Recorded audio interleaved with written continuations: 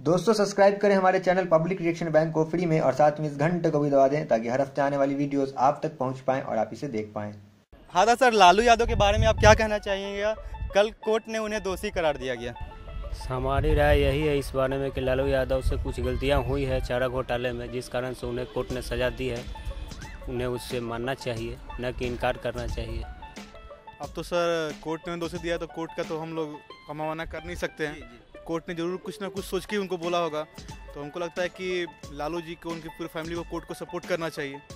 Court क्या कह रहा है क्या नहीं कर रहा है बाकी आगे कार्रवाई कोर्ट करेगा। उसके बारे में तो मैं करार नहीं दे सकता हूँ क्योंकि मेरा एक प्रोफेशन एक अलग टाइप में है उसमें मैं नहीं दे सकता हूँ। तो दोषी करार करने का ठीक ना? उस बात पे मैं तो नहीं जाऊँगा क्योंकि मेरे उनके बारे में तो उतना ठाउट है नहीं उनके बारे में उतना पता है नहीं। फिर भी जहाँ से लगता है कि आ, उतना तो नहीं होना चाहिए जो दोषी करार थे। सर हम लोग अगर आज कहीं जाने आते हैं कहीं भी भोजपुरी बोलते हैं तो वो क्या? आप you are from Lalu Prasad Yadav? कोई हमको यही बोलता है? नो बोलता है कि यू आर बिहारी।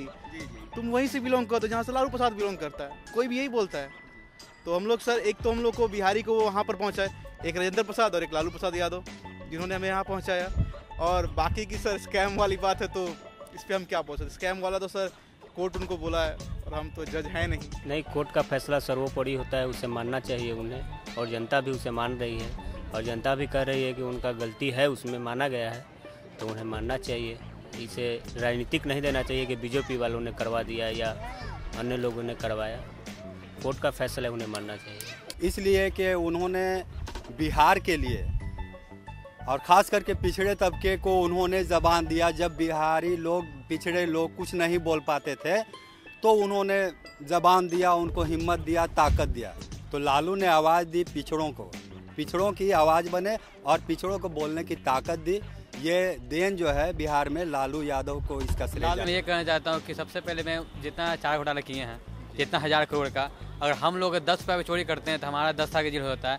लेकिन अगर दस साल से वो केस चल रहा है, नहीं, कुछ भी नहीं हुआ, उनका अनायात कुछ होने वाला है। तीन साल का हुआ सज़ा, लेकिन वो भी, उससे पहले भी कुछ हुआ था, कुछ हुआ नहीं।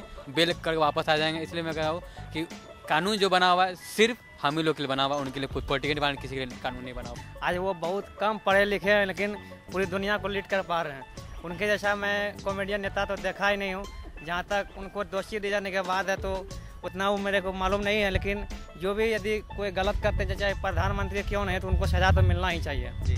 और अभी उनकी स्थिति थोड़ी कमज़ोर बोल सकते हैं आप लेकिन अगर लालू जी कुछ चीज़ में स्कैम में फंस रहे हैं और कुछ पे उनको दोष लग रहा है तो उनको लगता है कि लालू जी को अपने आप को सरेंडर करना चाहिए या फिर उनको बारे में कुछ बात करना चाहिए कोर्ट का कोर्ट का माना नहीं करना चाहिए उनको।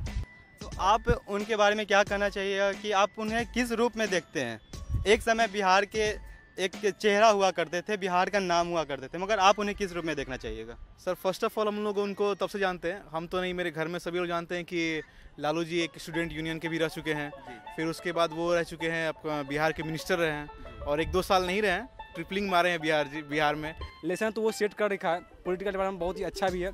है क्या नहीं?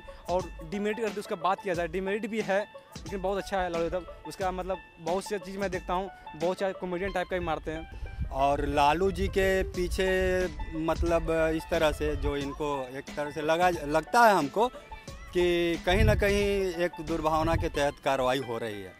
ये ऐसा हमको लगता है। तो सर जहाँ तक की बात है और मतलब मतलब राजनीतिक लाइफ में वो बहुत दूर तक गए हुए हैं और वो ऐसा काम किया है ना पूरा मतलब बिहार लेवल जो है ना उसके नाम से जानता है। खास करके बैकवर्डों में जो ताकत आई बोलने की और जो उनको एक एहसास हुआ वो लालू ने किया वो काम।